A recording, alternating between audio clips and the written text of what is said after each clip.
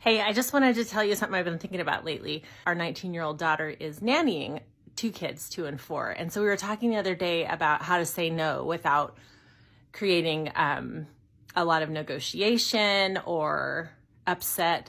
And I remembered back to a teaching that I saw once by John Rosemond, who is a pediatrician who also does a lot of behavioral stuff. And it just really stuck with me because it's five, five things that will cover every single situation on how to say no to your kids. There are only you should only have to say one of these five things each time you need to say no to your kids. And the five things are we don't have time for that. We don't have the money for that.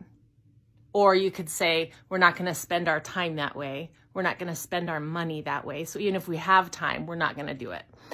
Um, that is not safe.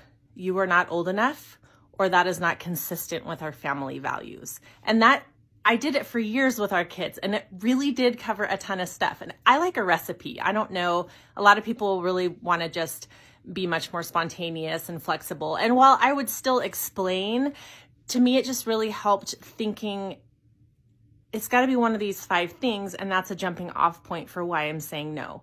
And then if it isn't one of those five things, you have to ask yourself, why am I saying no? Right? Like, I guess I just don't want to do it right now or I'm too tired or I just I need to sit and be by myself. I don't know um those those all might be legitimate reasons too, but you and that's fine, but it just gives you sort of a structure with which to think through why and how you're saying no to your kids. Good luck.